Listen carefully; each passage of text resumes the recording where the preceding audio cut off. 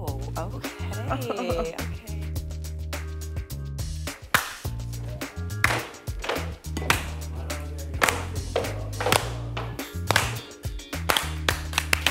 She came down the stairs clapping. I'm thinking we're about to have a party up in here. Matt, Matt, Matt. You must be so proud of yourself. What? I mean, really. What? Read that wrong. I am so flattered that I am a threat to you. Is this for real? Oh, what's happening? I am so freaking flattered. Thank you. Crazy eyes. You have freaking crazy eyes.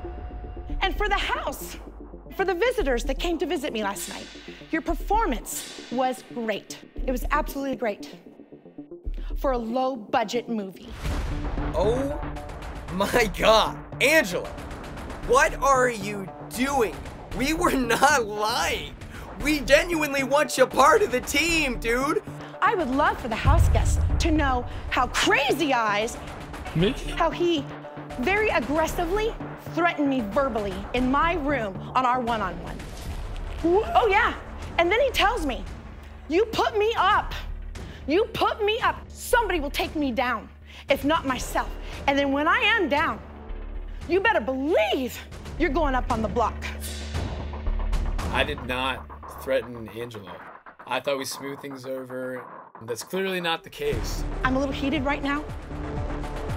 I still want to continue relationships with every single one of you because I'm a people pleaser and I'm, a, I'm not to a fault. I really just want to have fun with you guys, except for you. Don't talk to me. I want to have so much fun with all of you. I literally have had a traumatic experience from him, and I think MJ could do better. With that being said, please, could we just put this behind us?